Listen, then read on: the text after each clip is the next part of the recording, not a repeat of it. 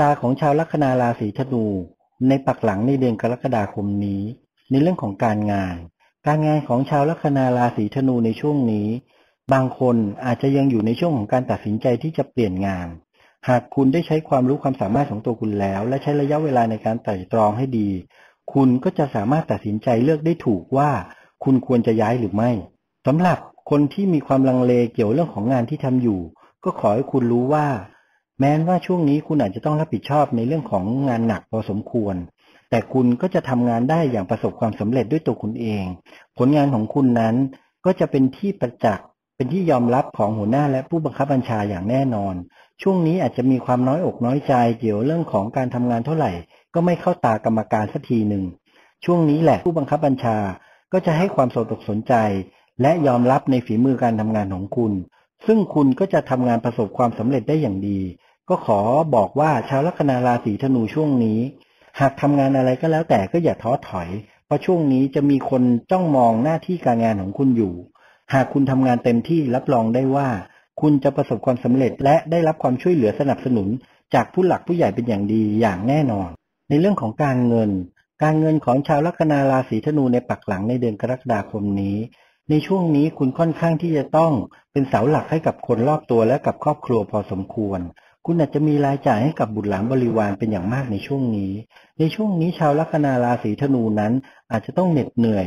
วิ่งทำงานขาขวิดกันเลยทีเดียว แต่คุณเป็นคนที่มีความขยันอดทน รับรองได้ว่า ความขยันอดทน ความเหน็ดเหนื่อยของคุณครั้งนี้ จะสร้างผลลัพธ์ให้กับคุณเป็นอย่างดีอย่างแน่นอน จะเป็นการเหนื่อยที่ไม่เสียเปล่า ดังนั้นก็ขอให้คุณมีจิตใจที่มุ่งมั่นทำให้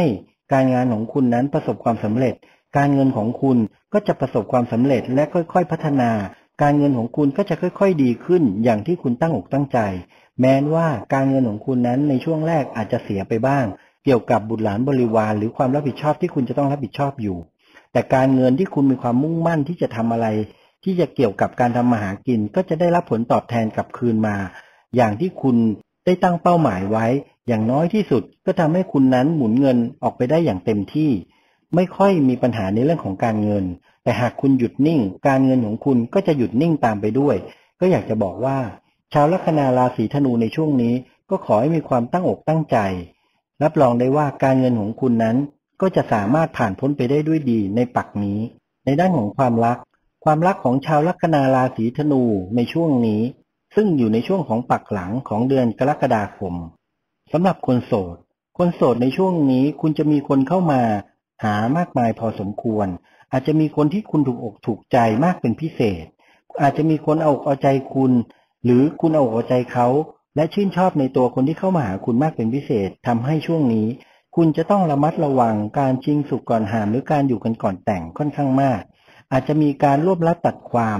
อาจจะเป็นการด่วนการตัดสินใจเกี่ยวกับคุณและคู่ของคุณมากเลยทีเดียว ก็ขอให้คุณระมัดระวังเอาไว้ แต่ก็ยังถือได้ว่าในช่วงนี้จะมีคนดีๆ ที่จะเข้ามาหาคุณ